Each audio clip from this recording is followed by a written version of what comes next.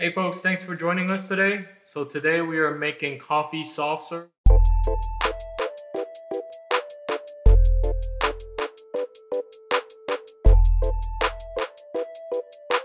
We're gonna use about two gallons of cold brew and add a bag of soft serve powder mix. We're gonna do a very thorough blend afterwards. Please note that there are vegan plus lactose free options as well.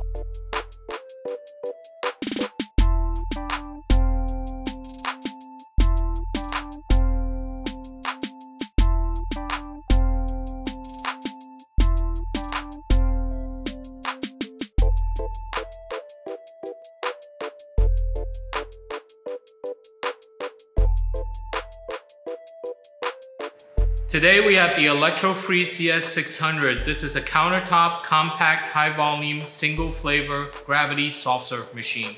Able to make various types of soft serve, frozen yogurt, and gelato. This is a big, versatile machine.